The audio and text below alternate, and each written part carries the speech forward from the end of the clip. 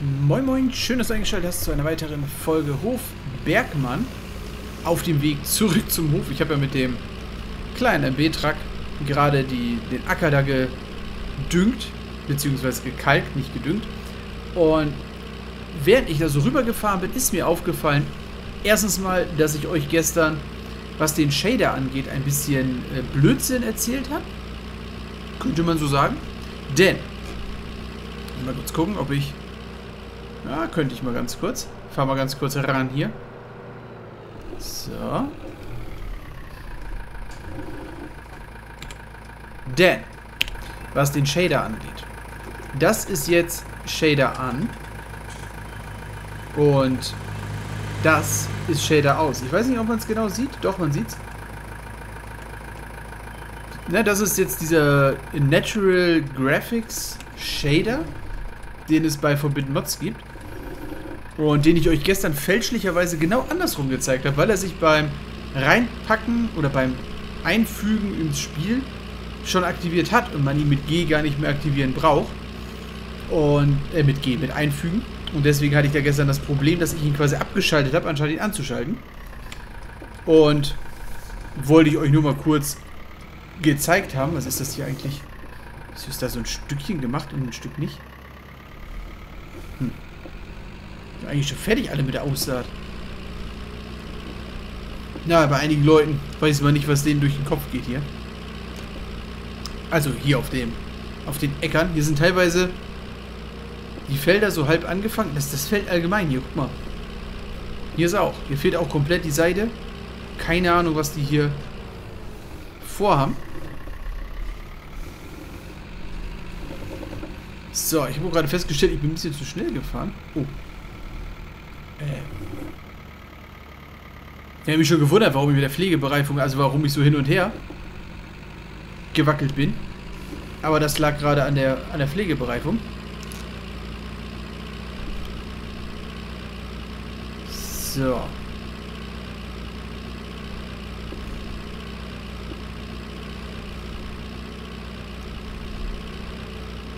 Okay. Upp, nicht zu schnell werden hier. So. Ne, ich hab gerade beim Fahren. Ich bin so, hä? Links, rechts, links, rechts. Da los. Hätte ich mal nach vorne aus der Scheibe geguckt, hätte ich gesehen, dass ich Pflegebereifung drauf habe, ne? Und man da vielleicht nicht unbedingt so schnell rasen sollte. So. Aber äh, in Bezug auf gestern meine Aussage, ne? Ähm, ja, äh, ich habe eigen oder ich war eigentlich beim ähm, wie heißt das ganze gute Zeug? Beim jetzt komme ich nicht drauf. Mensch, was habe ich denn davor gemacht? Ach so, genau, ich war eigentlich bei der Kleeernte und habe jetzt irgendwie das Düngestreuen vorgezogen oder das Kalken. Also von daher, wer jetzt geschrieben hat, du hast mit, mit, der, mit dem Klee aufgehört, ja, ich war noch nicht mit dem Klee fertig. So, dementsprechend stellen wir den hier mal einfach hier hin. So, dann müssen wir nachher noch sauber machen. Lass den mal kurz stehen, weil ich muss den anderen bestimmt auch sauber machen. Und dann gehen wir nochmal hier bei. Das Klee hatte ich... Was habe ich mit dem Klee eigentlich gemacht? Den Kühn verfüttert hatte ich es nicht, ne? Ne, ne. Ach, das ging nicht, weil die auf dem Dingens sind, genau. Die hatten noch. Das heißt, sie müsste es ja eigentlich. Klee. Klee.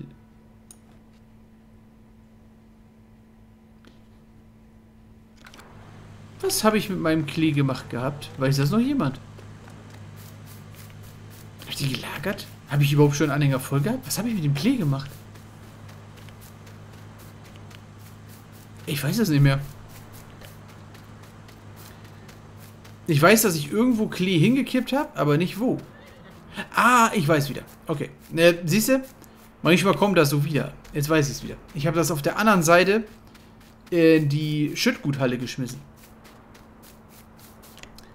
Ja, ja, wir waren noch nicht fertig. So.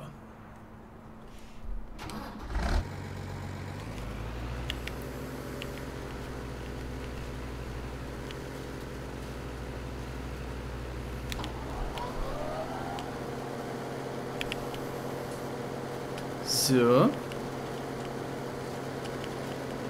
Hiermit war ich ja eigentlich stehen geblieben, aber irgendwie wieder von abgekommen. Ja, also eigentlich war, war Kleemähen dran. Und dann irgendwie schnell, schnell den Kalk. Keine Ahnung warum. Aber gut. In dem Falle machen wir jetzt im Nachgang nochmal hier den dieses kleine Kleestück fertig. So viel dürfte das auch gar nicht mehr sein.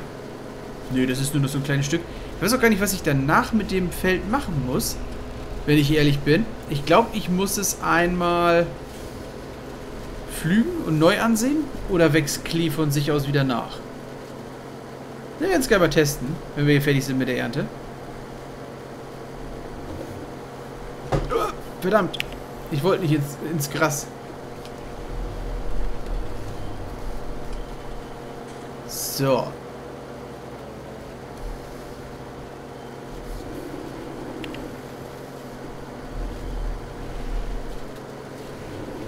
Gut, passt. Ich hoffe mal, ich kriege noch einen Ladewagen überhaupt voll.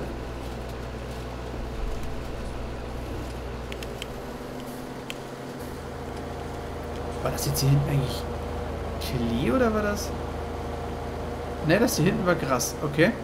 Ich habe hab alles noch so ein bisschen am Feldrand liegen. Also ich muss tatsächlich, nachdem ich äh, jetzt hier fertig bin mit dem Mähen, muss ich tatsächlich nochmal bei und muss mal äh, irgendwie in irgendeiner Form nochmal die Ränder abfahren. Und vielleicht mal das Gras noch mitnehmen, das kann ich noch in mein Hochsilo schütten. Dann können wir da ein bisschen Silage von machen.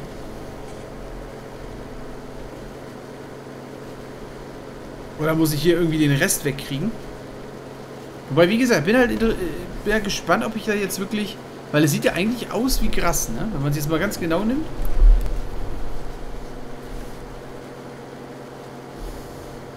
Von daher dürfte ich ja eigentlich nicht äh, flügen müssen, sondern das Ganze könnte eigentlich von sich aus einfach weiter wachsen. Na, mal gucken, wir werden sehen. Ich werde es gerne mal testen. Und dann wissen wir da ganz genau Bescheid. Achso, apropos ganz genau Bescheid, ne?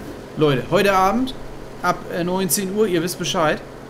Hier wieder auf dem Kanal äh, LS Livestream. In dem Falle äh, von der Holzer Map. Da wir da ein bisschen was im ähm, holzigen Holzwinter zu tun haben.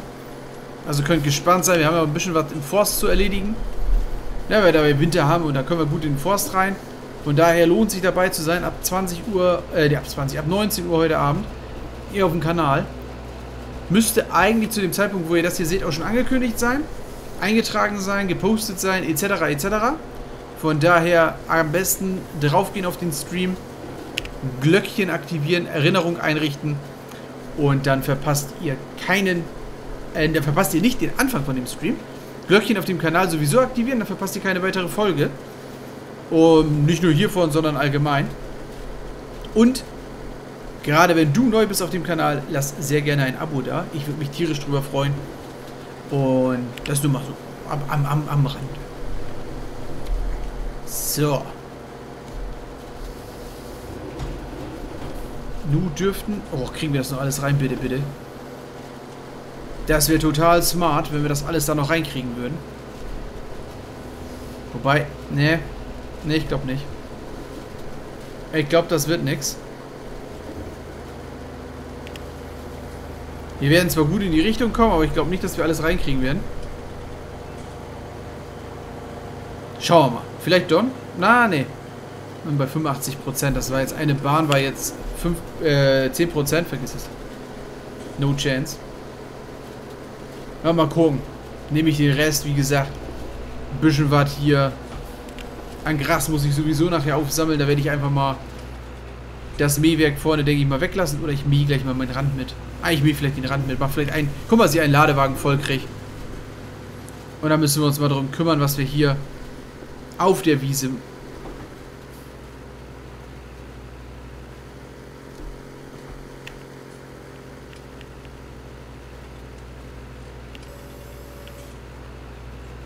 Okay. Ja, ja, gut, gut. Ich meine, weißt du, das Ganze in den Ladewagen zu packen wäre deutlich sinnvoller. Als wenn du einfach nur drüber fährst, ne? Weil das Plattfahren bringt uns da nicht so viel. Wir brauchen das Den Klee. Der war jetzt. Ah, geile Aktion jetzt. Na, da kann ich aber gleich nochmal kommen hier. Aber weißt du was? Komm her.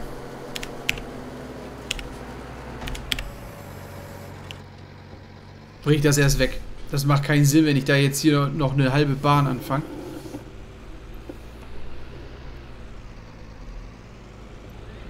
Schmeißen wir es drüben in, in, unser Silo, da wo schon der Anfang davon liegt. Ich hoffe, das bleibt da auch drin. Und geht mir nicht irgendwie kaputt. Zumindest so lange, bis ich jetzt die Tiere reingeholt habe.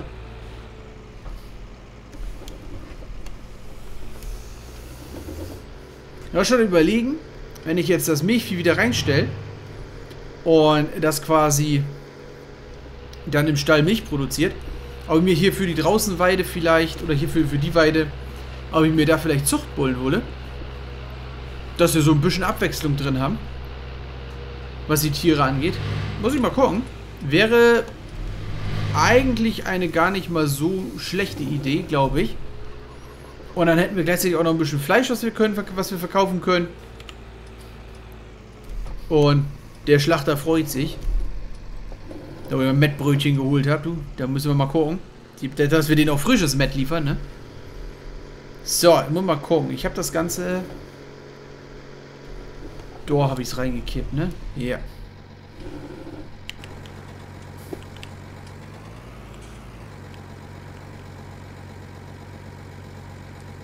Ja, schon ein bisschen voll hier drin, ne? Kriege ich den da hochgedrückt? Ja, eher weniger.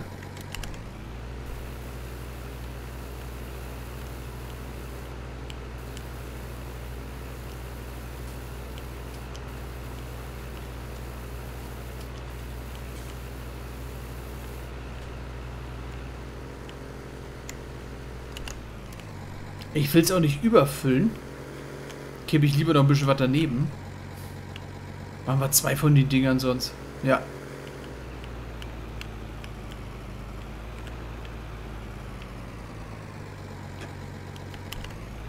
Im Hofsilo hatten wir ja gesehen, wird es nicht angenommen.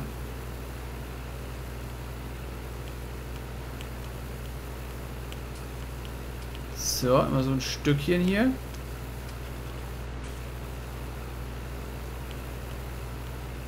Damit hier ja alles reingeht. Okay, das Silo sieht auf jeden Fall schon mal besser befüllt aus als das andere.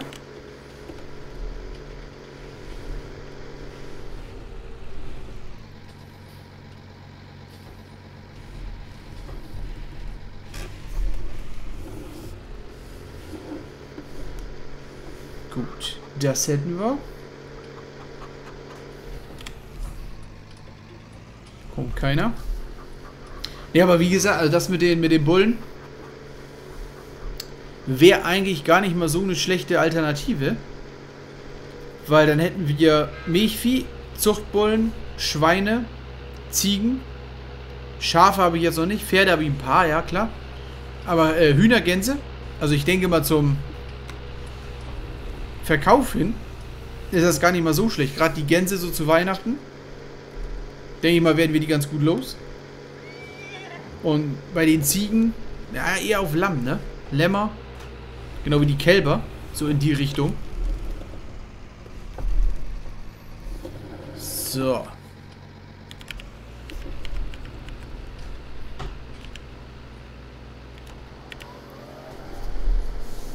Und auf geht er.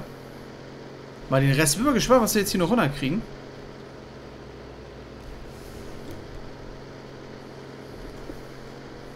Wobei mich halt auch wirklich eher interessiert, ist das Ganze jetzt gleich ähm, Wachstum oder ist das Ganze jetzt Jabgern? Es funktioniert ja leider nicht, ähm, dass der Season Mod den Klee erkennt. Na, wenn ich jetzt aussteige oder auch die Feldinfo, die erkennt den Klee nicht. Oder erkennt das hier nicht als Feld an, das kann natürlich auch sein. Kann ich das gerne mal eben zeigen.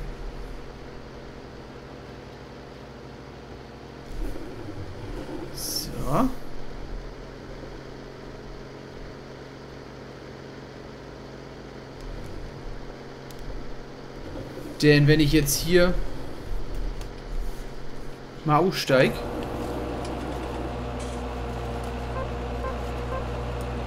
Sagt er mir zwar Klee, sagt mir auch 89%. Moment mal. Mal ganz kurz zu einer Stelle, die nicht 0%. Aber er zeigt mir ein Klee. Jetzt ist, ich, äh, mir interessiert das jetzt mal. Also, das ist Klee. Eindeutig.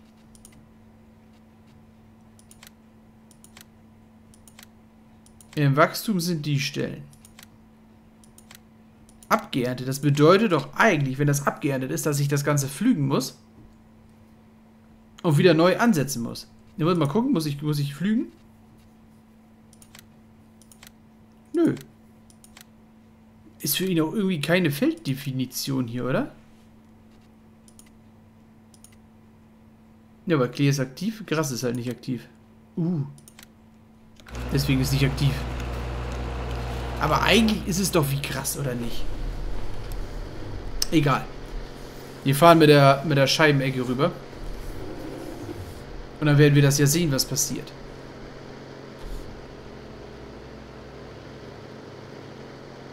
Und im Zweifel pflanzen wir einfach den Klee neu an. Oder machen hier was anderes drauf. Ah, wobei jetzt um die Jahreszeit ne eher Klee. Die will ich dann ja auch nächstes Jahr oder im Frühjahr haue ich den auf die Felder drauf, die wir haben. Über Winter. Im Herbst drauf für den Winter so rum. Wobei, das ist jetzt die Frage. Hauen wir Klee drauf oder hauen wir lieber Gras drauf oder Ölrettich? Weil, wenn ich jetzt das, den Klee die ganze Zeit lagern, ich kann ihn auch in den Komposter schmeißen, oder? Ich kann da Kompost draus machen. Das wiederum als Dünger. Das ist auch eine gute Idee. Hauen wir nächstes Jahr das Ganze als Kompost. Oder hauen das Ganze in den Kompost im Frühjahr. Dann haben wir auch gleich schon ordentlichen Humusboden. Den können wir wieder als Dünger auf die Felder bringen. Ah, das ist auch gar nicht mal so eine schlechte Idee. Dann werden wir uns vielleicht doch die Felder damit mit äh, Klee vollhauen. So.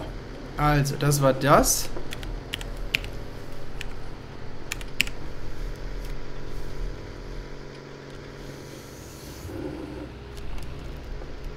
Gucken wir mal. Das müsste jetzt eigentlich alles an Klee gewesen sein. Dass wir dann mich um die Graskante fahren können. Entschuldigung. dass es dann passt.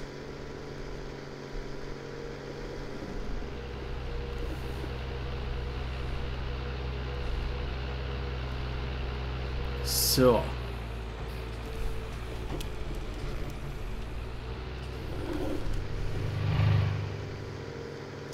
Dann hätten wir das auch. Aber wie gesagt, denkt dran, heute Abend ab 19 Uhr. Holzer Map Livestream. Hier auf dem Kanal. Seid alle dabei, seid alle schön anwesend. Ich würde mich freuen, oder ich freue mich jetzt schon drauf, mit euch diesen Stream angehen zu können. Und ich würde sagen, dass ich jetzt hier mal kurz das Ganze wegfahre. Und für euch soll es das nämlich für heute gewesen sein. Ich sage vielen lieben Dank fürs Zuschauen. Ich hoffe, die Folge hat euch Spaß gemacht, hat euch gefallen. Ich würde mich natürlich freuen, wenn ihr bei mir ein Abo, Daumen und Kommentar da lasst. Schaut sehr gerne beim nächsten Mal wieder rein. Dann wünsche ich euch einen schönen Abend, eine schöne Nacht, einen schönen Morgen. Je nachdem, wann euch das Ganze anschaut und sagt, bis zum nächsten Mal.